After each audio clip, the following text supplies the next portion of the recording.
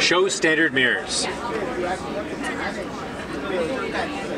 Standard mirror. There we go. Sorry about that. Um, so over on the mirrors now, you can see that we have what you would normally see if you had a smaller display.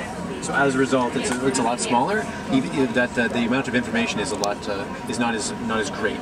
Uh, same deal over uh, over here on the, the rear view display. Um, all of this is now, uh, you know, it would be there's not as much information available to the driver. So I'm going to show switch back to the full mirrors. Show full mirrors. Full mirror. The one thing I'd like to highlight is uh, even with the, the rear view mirror, uh, I don't see you guys. Uh, it's uh, my attention is on the, the road. It's on uh, um, the vehicle, uh, on what's behind me.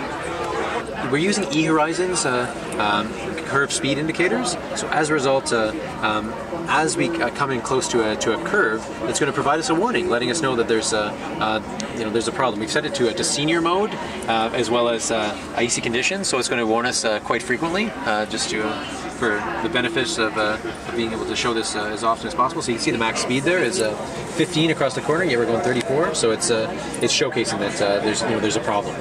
So uh, being able to provide this uh, additional input um, with with the sensors allows us to make better decisions um, whether or not we're going to uh, actually uh, turn the vehicle slightly to be, to, uh, to be in the lanes or be able to uh, um, to you know as I mentioned the seatbelt pretensioners or the um, the adaptive cruise control. As you know as all of these systems are now available under one under one platform you have the ability to um, to utilize more and more um, you know, you script actions. For example, uh, when you go into reverse, there's no reason why you couldn't move the, the mirrors down uh, down slightly uh, so that you uh, you highlight the, the curves.